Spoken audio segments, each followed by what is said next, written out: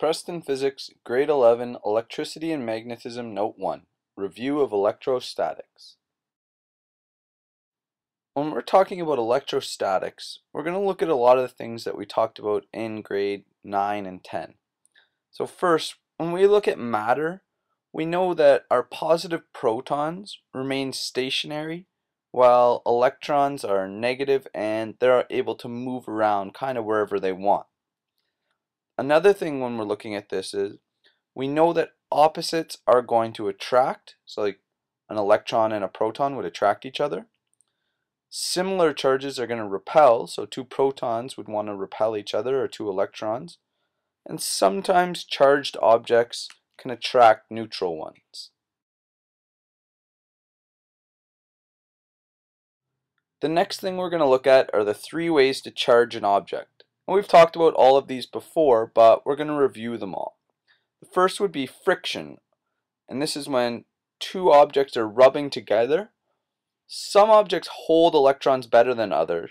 So when we rub those two objects together, for instance, if we were to rub cotton and glass together, the electrons would leave the glass and move into that cotton because cotton has a stronger hold on its electrons.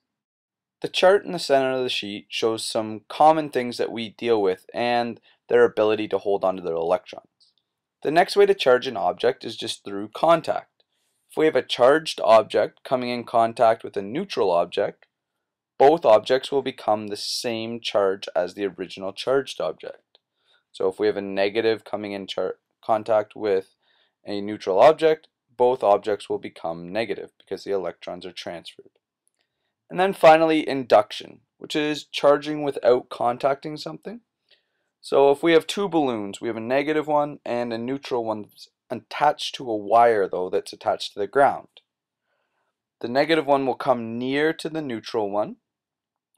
The electrons in that neutral balloon will want to leave because they want to get away from the other negatives. So they're going to go down the wire into the ground.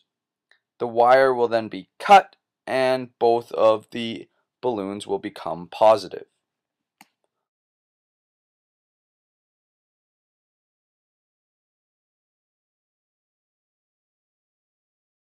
The question associated with this note is question 1 from your yellow duotangs.